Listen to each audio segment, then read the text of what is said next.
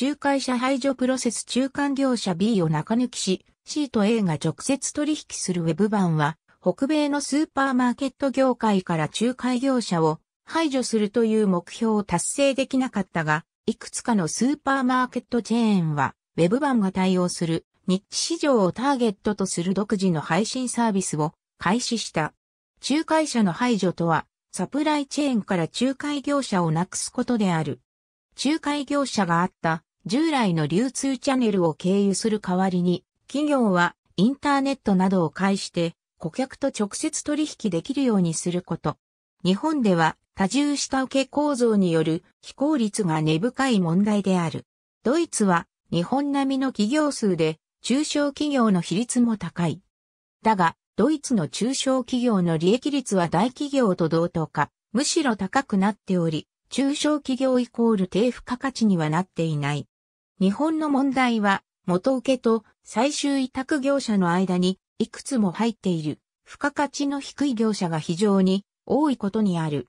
中抜きを行うと、流通、管理などのコストが削減され、製造業者は利益率を上げたり、価格を下げたりすることができる。インターネットによりこのプロセスも電子化されている。多くの場合、企業対消費者間電子商取引企業は、バイヤーとメーカーの間の架け橋として機能する。この用語は、もともと1967年に銀行業界で生まれた。消費者が普通預金口座に預金する代わりに、証券に直接投資することによって銀行の仲介を回避する動きが起きた。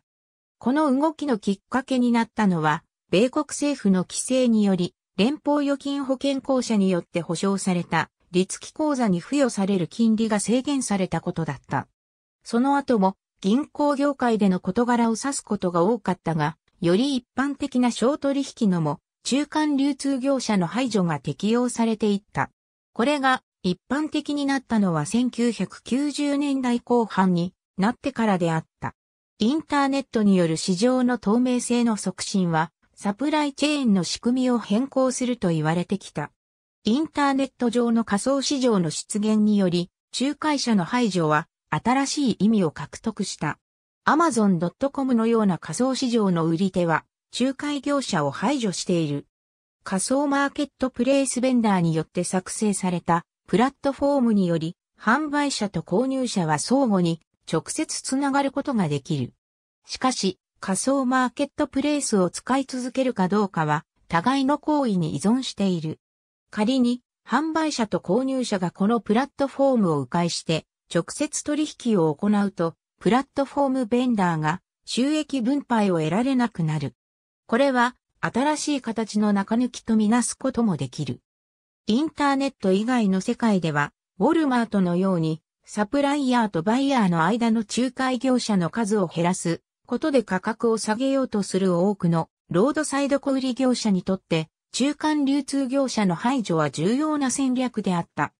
在庫の必要がなければ、仲介流通業者の必要性の一つがなくなるため、中間流通業者の排除にはジャストインタイム製造のアイデアとも密接に関連している。1990年代の日本とドイツの経済パフォーマンスの低さの理由として、仲介者の排除を阻止する法律の存在が挙げられている。ただし、インターネット関連の仲介者の排除は、ドットコムブームの間には予想されたよりも発生しなかった。小売業者と卸売業者は、クレジットの延長、様々なサプライヤからの製品の集約、返品の処理などの重要な機能を提供する。さらに、多くの場合、製造業者との間の商品の配送は、消費者が商品を受け取る店舗に商品を配送するよりも、はるかに効率が悪い可能性がある。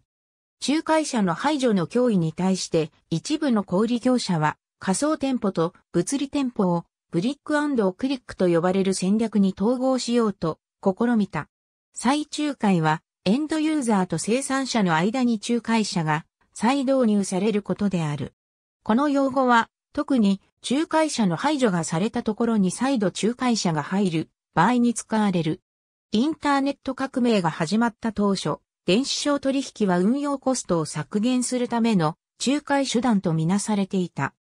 消費者がインターネットを介して生産者から直接製品を購入できるようにすることで製品の配送チェーンが大幅に短縮され標準的な供給モデルの仲介業者が仲介されなくなるというコンセプトであった。しかし実際には新しい仲介者がデジタル環境に登場してきた。再仲介は e コマースを使って仲介者を排除し、直接販売モデルを取った場合に発生する多くの新しい問題が原因で導入された。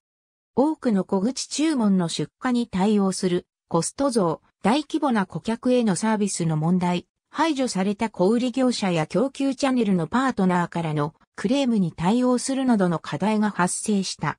個々の消費者の販売前及び販売後の問題に対応するには膨大なリソースが必要となる。仲介者を排除する前は、サプライチェーンの仲介業者が生産者の販売員を務めていたが、仲介者が不在の場合、生産者自身が営業を行う必要がある。オンラインでの販売には独自の関連コストがかかる。高品質のウェブサイトの開発、製品情報の維持、及びマーケティング費用などだ。最後に製品販売をインターネットチャンネルに限定すると、生産者はインターネット上で他のサイトと競合しながら集客を自分で行う必要がある。インターネット上での集客には様々なテクニックと費用が必要になってきている。ありがとうございます。